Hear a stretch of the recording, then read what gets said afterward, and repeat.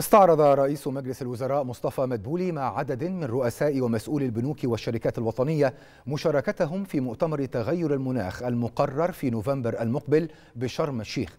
وأوضح مدبولي أنه من المخطط أن يحضر المؤتمر عدد كبير من رؤساء الدول والحكومات وكبار المسؤولين وممثلي كبريات الشركات والمؤسسات الدولية ما يجعله فرصة مهمة من أجل مزيد من التعاون مع شركاء التنمية. وكذا التسويق والترويج للمشروعات المصرية.